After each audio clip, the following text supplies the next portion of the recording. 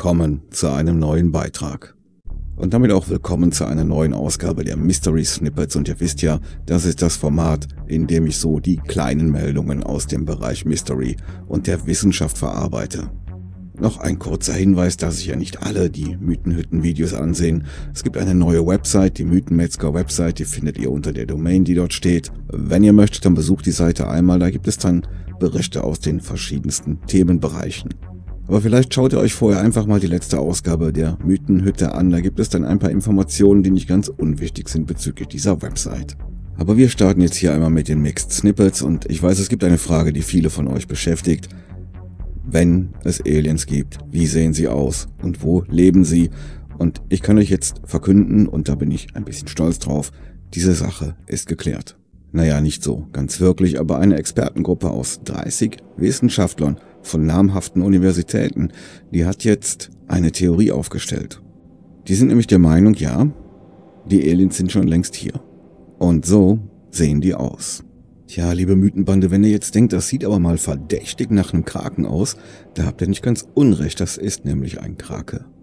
Also ein ganz normaler Bewohner unseres Planeten, den wir eigentlich alle kennen, und trotzdem sagen diese Wissenschaftler, das da ist ein Außerirdischer.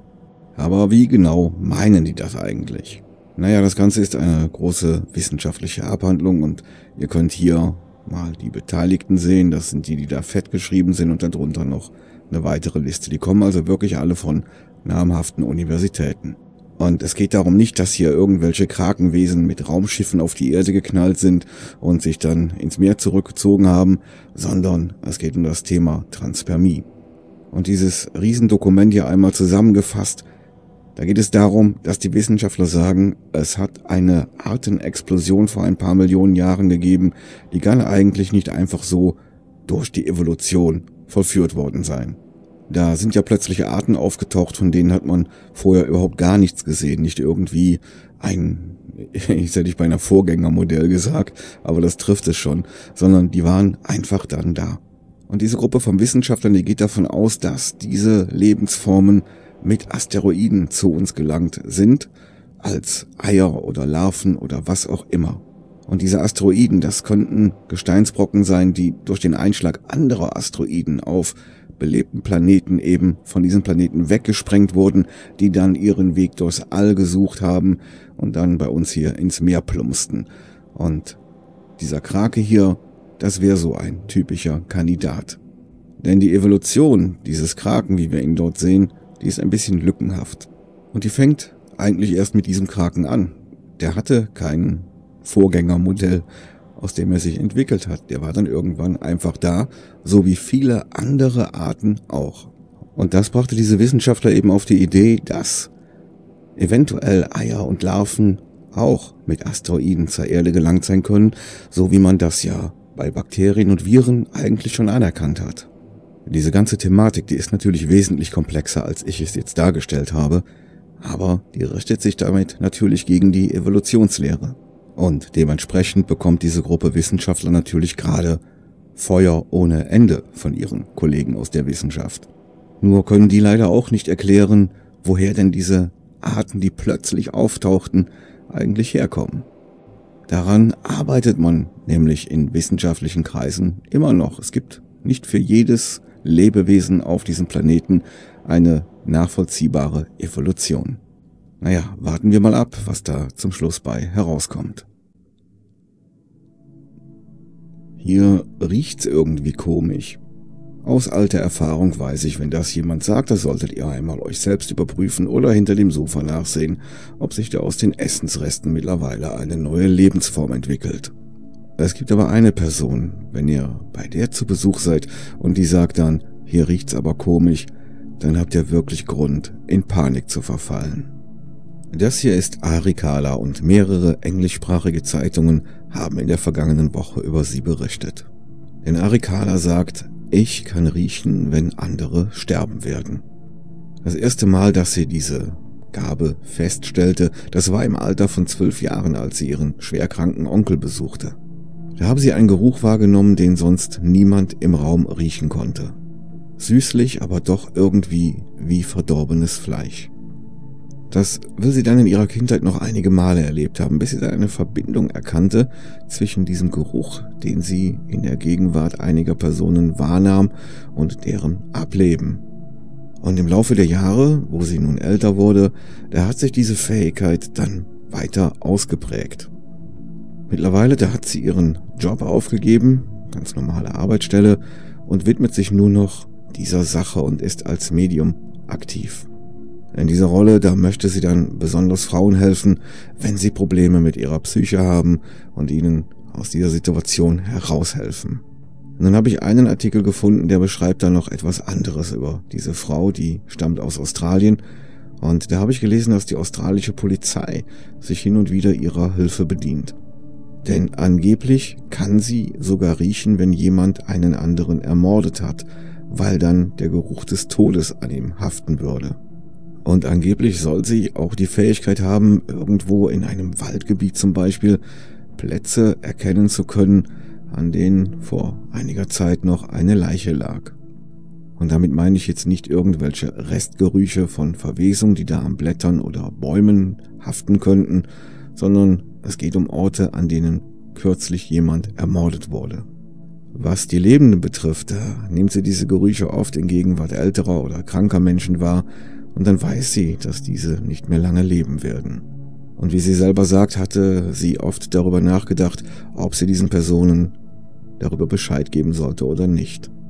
Sie hätten dann vielleicht noch Gelegenheit, Dinge zu erledigen, die sie noch erledigen möchten, bevor sie sterben oder vielleicht noch ihr Leben irgendwie in Ordnung zu bringen, falls etwas nicht stimmt, aber sie sagt, sie hätte irgendwann erkannt, dass das nicht ihre Aufgabe sei. Ja, was meint ihr? Ist so eine Fähigkeit, wenn sie diese nun tatsächlich hat, Segen oder Fluch? Oder hättet ihr vielleicht gerne selbst die Fähigkeit erkennen zu können, wenn jemand in Kürze sterben wird?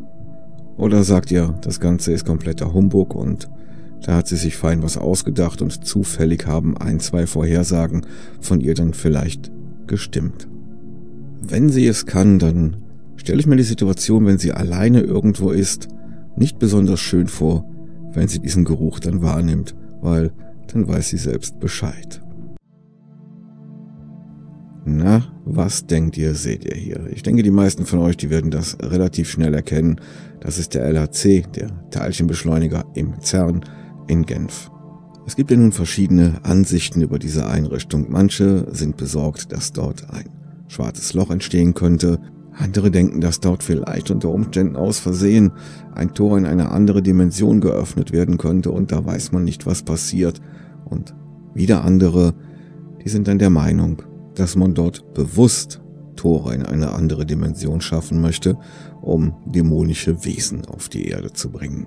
Aber es gibt natürlich nicht nur Befürchtungen, es gibt natürlich ganz viele Menschen, die sagen, das ist alles Mumpitz, das hier ist eine hochtechnische Einrichtung dieser LAC und da wird an der technischen Zukunft, an vielen, vielen Dingen der Menschheit gearbeitet. Und das ist alles ganz sicher, da kann mal überhaupt gar nichts passieren. Und gelegentlich, da gibt es Aufnahmen, die werden im Internet verbreitet, die verursachen dann bei den ersten drei Fraktionen ein bisschen Angst. Und so etwas, das habe ich gerade wieder in einem Forum entdeckt mit einer riesen Diskussion darunter über die Echtheit und über die Befürchtungen, wenn es echt ist, was es sein könnte. Das hier ist angeblich eine Aufnahme, die in Genf über dem CERN gemacht wurde. Da soll sich so ein Ring gebildet haben und man spricht davon, dass das Ganze ein Portal ist. Und zwar in eine andere Dimension. Ihr habt gesehen, da blitzt es noch schön. Passt also alles zu dem, wie man sich so etwas vorstellen würde. Während die einen nun sagen, man sieht ja ganz deutlich, dass das ein CGI-Effekt ist, da sind andere richtig besorgt. Die sehen das nämlich als Bestätigung dafür, dass CERN daran arbeitet, Portale in die Welt der Dämonen zu öffnen und dann Baal hier auf die Erde zu holen. Was einem sicherlich sofort auffällt, ist die Tatsache, dass das Ganze mal wieder mit der Kartoffelkamera aufgenommen wurde. Und liebe Genfer, ich weiß ja nicht, wie das Klima so durchschnittlich bei euch ist, aber wenn ihr hier mal rechts im Bild den Baum seht, gibt es bei euch Palmen. Das ist jetzt wieder so wie die Aufnahme dieser Blitze, die damals über CERN gemacht worden sind. Das Ganze waren Sekundenaufnahmen eines Gewitters und das wurde dann noch ein bisschen bearbeitet. Und dann hat das jemand auf seinem Facebook-Account online gestellt und hat dann nur geschrieben, dass es über Genf war. Dabei war es noch nicht einmal über dem CERN. Aber sofort verbreitete sich dieses Bild und alle waren in heller Aufregung. Dabei hat der Fotograf weltweit diese Art Fotos gemacht. Er benutzte eine besondere Technik und das Ganze war ein Blitz, wie er ihn überall auf der Welt auch schon anderswo fotografiert hat. Und damals war es eben auch so, dass sich dort angeblich ein riesen Dimensionstor geöffnet hat, aber nicht ein Fernsehsender, nicht ein YouTube-Video, nicht ein Radiosender, keine Zeitung, niemand hat darüber berichtet. Und genau so ist das jetzt hier eben auch der Fall. Und ich weiß, liebe Genfer, ihr sprecht da Französisch, aber die Vorstellung ist einfach zu schön, wenn Urs und Gritli am Fenster stehen. Und Urs sagt dann, du, Gritli, da ist ein Dimensionstor. Und Gritli sagt, du Urs, das ist ein Portal. Sollen wir davon ein Foto machen? Und der Urs sagt dann, ach nö. Da muss man sich nicht wundern, warum da keine Bilder außer dieses eine Video hier veröffentlicht werden. Das sind eben so Gedanken, die muss man sich mal machen, wenn so ein Video auftaucht. Warum gibt es nur diese eine Aufnahme, wenn das da minutenlang am Himmel stand? Oder wie ist eure Meinung dazu? Würdet ihr sagen, das ist echt oder würdet ihr sagen, das ist eine CGI-Arbeit? Da will uns mal wieder jemand für dumm verkaufen. Das hier ist Hokkaido in Japan. Und in dieser auf dem Bild recht bunt wirkenden Stadt, da gibt es einen Schrein. Und in diesem Schrein, da steht eine Puppe. Und diese Puppe, die hat eine ganz besondere Geschichte. Und wie immer bei solchen Geschichten, da gibt es da unendliche Varianten, wie sie sich denn zugetragen haben soll. Und je weiter man gräbt, desto mehr kommt zu dieser Geschichte hinzu. Ich gehe dann immer so vor, dass ich mir so die ältesten Quellen heraussuche, die ich finden kann. Und wenn es davon dann mehrere gibt, dann neige ich dazu, mir die rauszusuchen, die am schlichtesten ist. Und demnach ist die Geschichte dieser Puppe wie folgt abgelaufen. Im Jahre 1918 kaufte ein 17-jähriger Junge namens Aikishi Suzuki seiner kleinen Schwester eine Puppe. Die Familie, die wohnte in einem Ort namens Sapporo und das ist ein Vorort von Hokkaido. Die kleine Schwester des 17-Jährigen, die den Namen Kikuku hatte, die freute sich immens über diese Puppe und sie nahm sie überall mit hin. Es verging nicht eine Stunde am Tag, wo sie diese Puppe nicht bei sich gehabt haben soll. Aber eines Tages da erkrankte Kikuko und sie bekam hohes Fieber und letztendlich verstarb sie an dieser Krankheit. Und wie es damals dort so üblich war, wurde das kleine Mädchen dann mit all ihren privaten Besitztümern verbrannt, damit sie diese auch im Jenseits noch zur Verfügung hat. Es gibt nun zwei Varianten. Die eine sagt, die Eltern haben ausgerechnet die Puppe vergessen, mit ins Feuer zu legen, und die andere Variante sagt, die Eltern wollten diese Puppe als Erinnerung an ihre Tochter behalten. Wie dem auch sei, die Puppe landete nicht im Feuer. Die Puppe, die wurde dann zusammen mit der Asche des Mädchens in einen Schrein gestellt und dieser Schrein, der stand dann auf dem Grundstück der Familie und die Familie, die betete dort jeden Tag für die Seele des Mädchens. Ursprünglich hatte diese Puppe eine sogenannte Okapa-Frisur, das ist so eine Art Pagenschnitt, aber mit der Zeit, da bemerkte die Familie, dass die Haare der Puppe wuchsen. Und das Ganze soll dann so weit gegangen sein, dass die Haare der Puppe irgendwann bis zu ihren Knien gewachsen sein sollen. Für die Familie war dies ein Zeichen, dass die Seele ihrer Tochter in diese Puppe gefahren ist. Und mehrmals soll es so gewesen sein, dass sie dieser Puppe die Haare schnitten, die wuchsen aber dann angeblich immer wieder nach. 1938, da soll der Vater dieser Familie dann die Puppe an den Manyenji-Tempel abgegeben haben und da steht sie heute noch.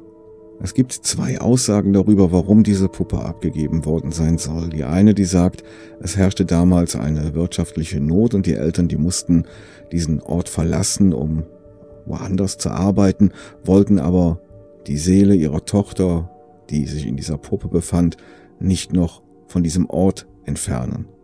Und die andere, die sagt, die Eltern, die hatten da schon ein relativ hohes Alter und sorgten sich darum, was mit dieser Puppe und damit mit der Seele ihrer Tochter passieren würde, wenn sie nicht mehr lebten. Und deshalb hätten sie diese Puppe mit dem Schrein an ein kleines Kloster abgegeben und die Mönche gebeten, sich weiterführend um diese Puppe zu kümmern. Und das tun sie anscheinend bis heute. Und man darf diesen Schrein besuchen. Man darf halt nur keine Fotos von dieser Puppe machen. Allerdings in der heutigen Zeit mit den Handys und so weiter, da gelingt es dem einen oder anderen immer wieder einmal ein Foto dieser Puppe zu machen. So wie hier auf diesen Bildern. Und da sieht man halt, dass diese Puppe sehr lange Haare hat.